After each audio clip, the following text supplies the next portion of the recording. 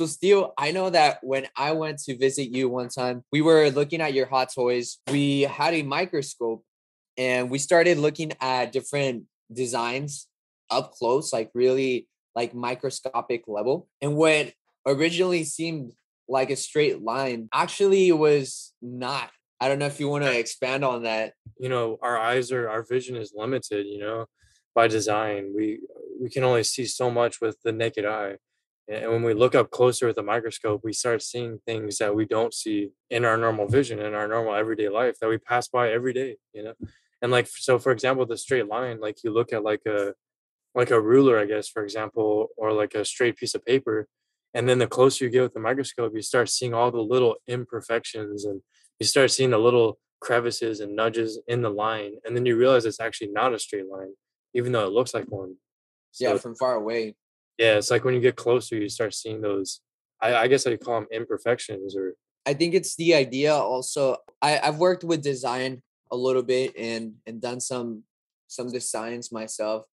And usually, the professionals are the ones that can go deeper into into the artwork or into the the pamphlet or whatever they're creating, and they can pick out details like, oh no, move move this uh, font to the left just slightly and then it'll be aligned and you know professionals can see that but to a naked eye it's just so much harder to see where where things should be. But if you look at it from from far away though yeah. it looks completely fine.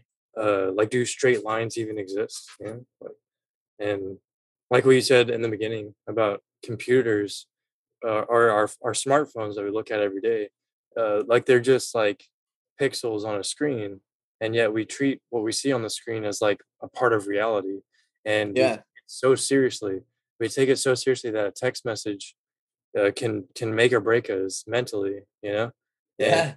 and like or like oh we're running late we're running late to an important event that's scheduled on our pixelated calendar on our pixelated phone screen or we're typing an important blog for our job our writing job uh, yeah or, or applying to a yeah or applying to a job.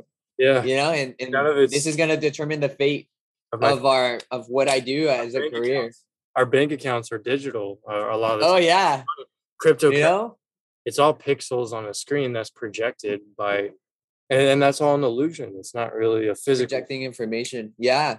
The only thing that's physical is a screen, really, and and I'm sure like the electronic components, of course, but when it comes down to it, what we see on the screen right now is is really just an illusion of patterns of pixels and colors that come together to form the image. You know, I know I'm talking to you. I hear you talking to me through my earbuds, and then I see you. So I automatically think like, oh, I'm actually hanging out with yeah, you. That's so true. Like our brain makes those connections, even though we're not physically like hanging out or even really talking to each other necessarily.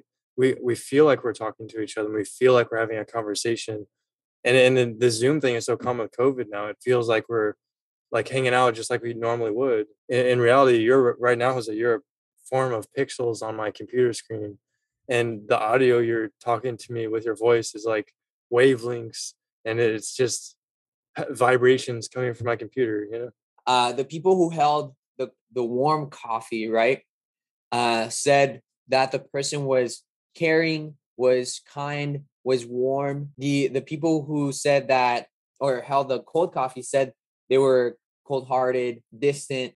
Interesting how how the sense of touch changed their perspective of hearing. Yeah. Right. and so I think about that. Does that affect other senses, yeah. right? Does one sense affect the other sense? And then the interpretation of what your sense is. There's also a condition called synthesia. I always have a hard time pronouncing it. Mm. Synthesia mm. or something like that uh, synesthesia. It's where like the five senses mix together and you get really strange results. Like people say they can taste colors, touch, taste the rainbow. Yeah. well, they can they can taste colors. I mean, not taste colors, but taste shapes. Like they can see a triangle and taste it just by seeing it.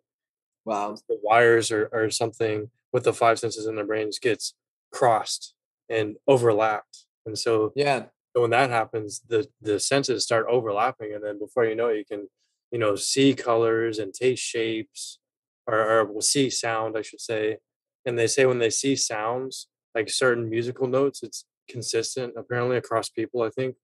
And so like they'll hear a certain note on a piano and they'll see the color blue or see the color yellow on a different note on the piano.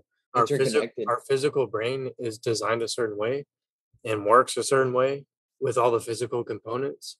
And when those physical components change and the wires get crossed, the neurons or whatever is controlling that aspect of perception, and like the sense of touch gets overlapped with the sense of sight, and you start getting strange new experiences that no one else experiences. Like it literally changes reality for us. And so it just shows how how much our reality can change. Yeah. Like, well, do we even know what we're perceiving right now is real? Like, I mean, do we even know like it's accurate? I guess I should say. When you look under a microscope, like this piece of paper right now, uh, like I see words on it and they look like they're perfectly straight lines. But when we look under the microscope, it's like the words, you can see the ink like on the paper, and the paper is like rough looking and, and it's all stringy, and the ink is like splotty. It's not perfect. But right now, it looks Yeah. like it is. So yeah, and even even if you print something out that looks straight, and like we we we we saw in the Hot Toys, which is you know they're supposed to be printed perfectly. You see it from afar perfectly, but then when you get closer, it's little rugged lines. yeah, it's like not it's- like a rugged line. Yeah, Why do I see a straight line then? yeah, it's like the distance. Is my is my mind making this straight line, yeah, is, or is your mind simplifying reality itself to understand it better?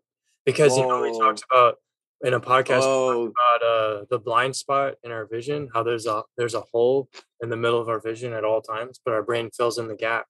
So I wonder if like the straight line, it's like our brain's filling in the gap. Yeah, otherwise it would be too complicated, you know. But then we also Yeah. know our vision is limited. Ooh, maybe because yeah, like you said, maybe our, our brain can't compute like all the details, and so it just generalizes and like sees the overall picture of reality. It's like too overwhelming otherwise. It, it would be too overwhelming. Yeah. You know, another thing that was really cool that we looked under the microscope was uh was that Harvey Dent pen with the American flag on it. And I remember when we looked at it,